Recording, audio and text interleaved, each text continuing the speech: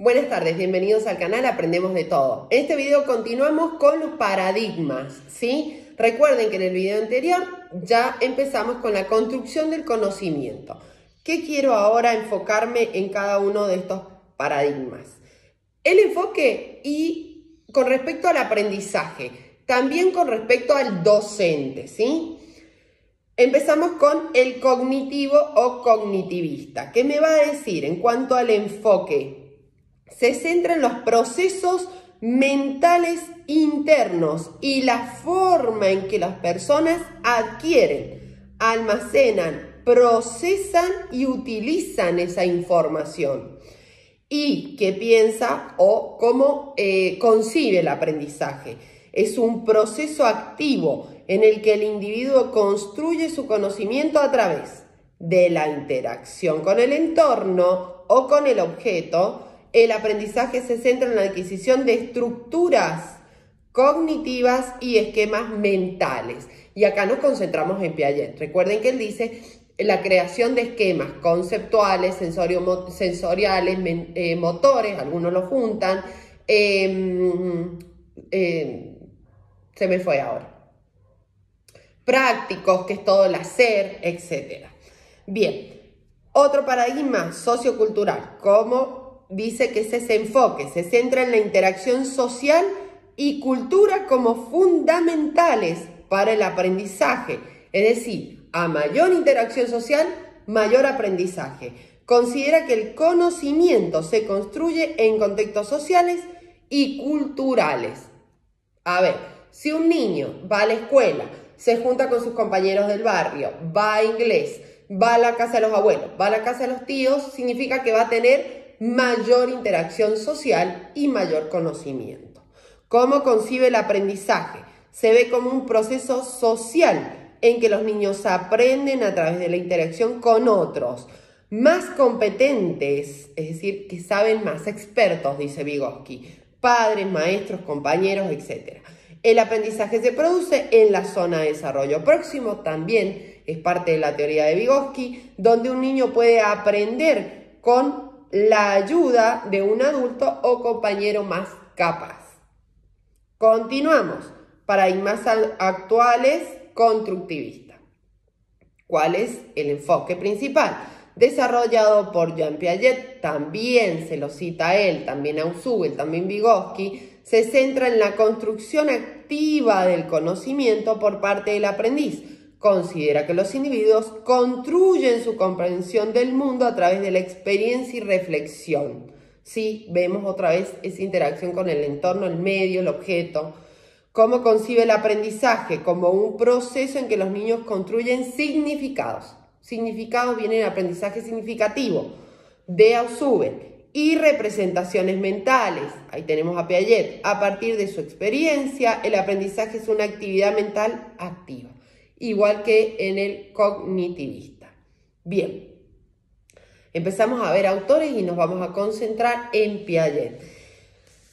Él propone una teoría llamada teoría del desarrollo cognitivo. ¿Por qué desarrollo? Porque va citando estadios, etapas y va hablando de logros y de limitaciones que tiene ese niño en cada una de las etapas. ¿Sí? Bien. ¿Para qué me sirve esto? Es importante como docente saber para qué me sirve la teoría de desarrollo de Piaget. Porque esos parámetros que me da de qué puede hacer el niño y qué no puede hacer, es cómo voy a trabajar en el aula. Por ejemplo, hasta los 8 años el niño no tiene ese concepto de, de grupo, de trabajo grupal, porque no le importa en su egocentrismo, en su yo, mi, eh, eh, todo es eh, él, el otro, esa interacción con el otro. Entonces existe el juego paralelo, dice él. Entonces vienen dos mamás con niños de 5 años y se están jugando, están jugando juntos. Y en realidad no. Cada niño está jugando con un juguete diferente y no comparten. Entonces es juego paralelo. Entonces cuando voy a trabajar en grupo, debo saber que tengo que construir en el niño eso porque no lo va a traer en esa edad. Bien, postula que el ser humano aprende por asimilación de la realidad, su interpretación y adaptación. Estos son procesos mentales, según su etapa o estadio del desarrollo biológico. Estadio sensoriomotor de, dos, de 0 a 2 años, va a decir. En esta etapa los bebés y niños pequeños exploran el mundo a través de sus sentidos y acciones esquemas sensoriales y esquemas motores. las principales características de esta etapa incluyen desarrollo de coordinación motora, y sí, comienza a moverse, comienza a gatear, a caminar, etc. Desarrollo de la permanencia del objeto. Y acá esto es muy importante, porque es un desarrollo, no es que se produce a tal edad. Dice, entender que los objetos existen incluso cuando no están a la vista. Y esto lo comprobó él cuando escondía un objeto debajo de una manta y el bebé sabía que estaba ahí. Inicio del desarrollo de la simbolización, ¿Qué significa usar objetos o acciones como símbolos para representar otros objetos o situaciones. Por ejemplo, cuando juegan a la comidita y, toman hojas, tierra, entonces están simbolizando comida con otros objetos. Bien, continuamos. En el estadio preoperacional, lo dice la palabra, preoperaciones. Va de los 2 a los 7 años. En esta etapa los niños desarrollan el pensamiento simbólico, ya más, más concreto dice egocéntrico, o sea, yo, yo, yo. Tienden al pensamiento mágico, por ejemplo, el sol me sonríe. Otro, ¿vieron la película Toy Story? Que el niño, eh, eh, es un pensamiento que tiene el niño, cuando se duerme, que los juguetes se despiertan y juegan y hacen cosas.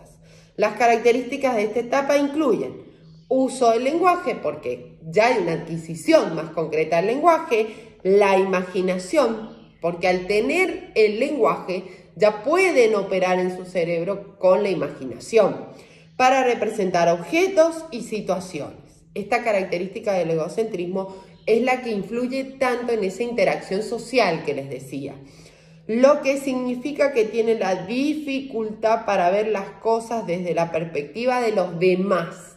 Es decir, por ejemplo, se quitan eh, juguetes ¿sí? Yo lo quiero, como soy egocéntrico, y le quita el juguete al otro. Pero no es porque eh, quieran en realidad a veces ese juguete, sino porque lo tiene el otro y es mío, lo quiero yo. Bien, dificultad con la conservación. ¿A qué se refiere? Seguida lo vamos a ver bien, bien a fondo, pero comprender que las propiedades de los objetos cambian a pesar de los cambios superficiales. Piaget hizo un experimento que está muy, muy difundido, que es que le presenta dos vasos a un niño. Ambos tienen la misma cantidad. Sin embargo, el niño va a decir que este objeto tiene más porque se ve más grande, ¿sí? No va a tomar todas las características de estos objetos, solamente una, el tamaño, ¿sí? Por eso es que no se comprende todavía está en desarrollo esa conservación. Y el pensamiento animista, atribución de características humanas a los objetos inanimados, o juguetes, o como les decía recién, el sol que sonríe, se le da vida. Bien. Sigamos con la teoría. Estadio operacional. Comienzan a tener operaciones mentales. ¿Cómo? En esta etapa, los niños adquieren la capacidad de realizar operaciones mentales lógicas con objetos concretos. ¿Qué significa concretos? Que estén presentes, que los pueda visualizar, ver. Fíjense la edad, está abarcando ya casi todo lo que queda de la educación primaria. ¿Sí? Bien.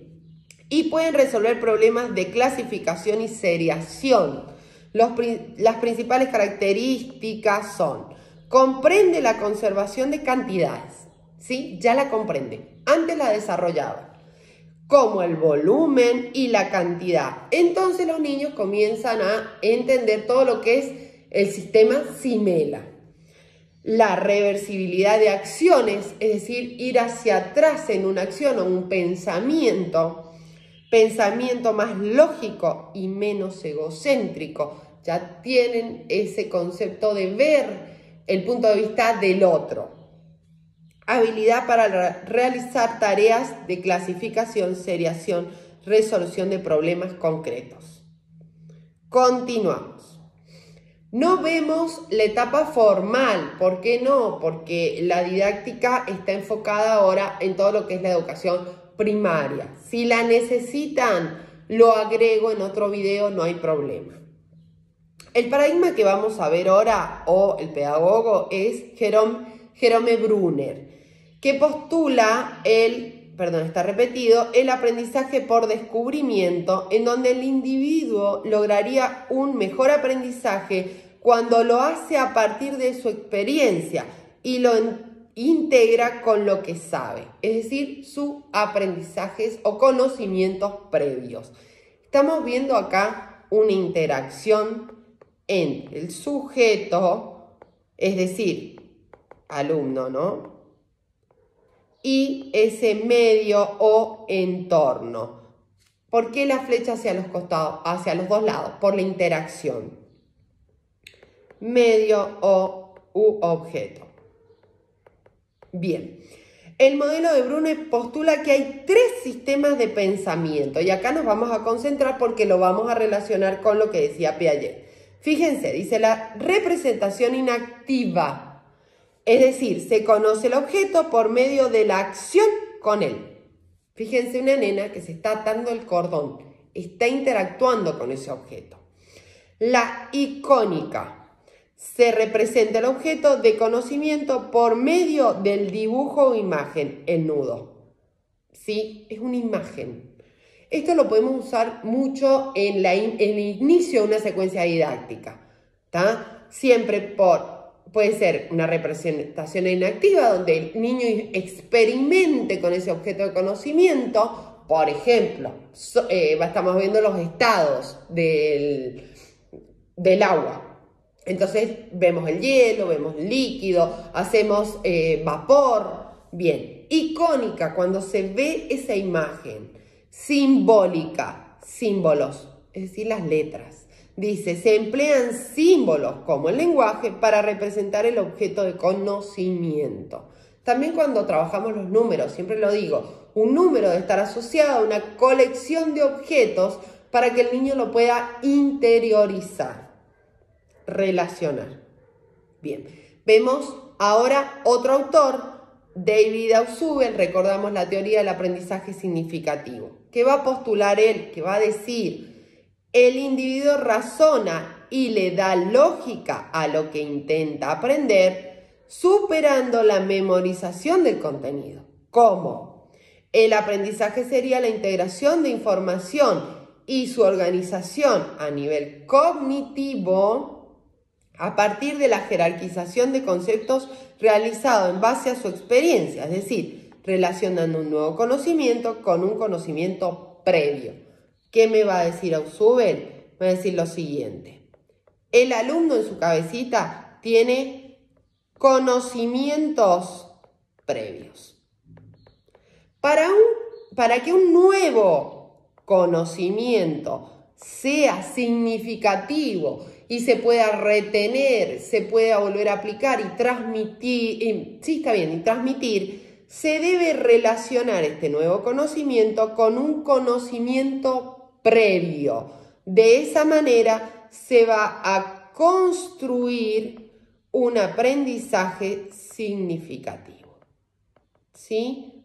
Por ejemplo, cuando vemos nosotros los diseños curriculares, fíjense que está preparado para que desde primero hasta séptimo grado se vean los contenidos de lo simple a lo complejo. Es decir, vemos el sistema digestivo muy, muy simple en primer grado. Después en séptimo ya se ve eh, el funcionamiento de los órganos, se relaciona con los demás sistemas, por ejemplo el circulatorio, por ejemplo, el sistema em, urinario y excretor, etc. ¿Por qué? Porque se está aplicando la teoría de Usubel y relacionando Otra forma en que lo vemos cuando enseñamos es cuando damos ejemplos de la vida cotidiana, ¿sí? Desde un contenido que queremos enseñar, dar ejemplos. Bien, el aprendizaje para Usubel se produciría por dos formas. Repetición, aprendizaje significativo, y recepción por descubrimiento, descubrir, es decir, experimentar con ese medio, interactuar. Bien, en el próximo video, para que no se haga extenso, ya vamos a tomar desde el docente cada enfoque cómo se aplicaría. He estado dando ejemplos, pero acá lo vamos a ver más puntual. Recuerden que si tienen alguna duda pueden dejarlo en los comentarios. Si necesitan algún tema, también. Eh, les agradecería que compartan, que se suscriben y regalen un me gusta si les sirve el contenido que estamos dando. Pueden contactarnos por nuestras redes sociales, TikTok, Instagram o nuestro mail. Aprendemos de todo, 123 gmail.com.ar. Desde ya, muchísimas gracias. Adiós.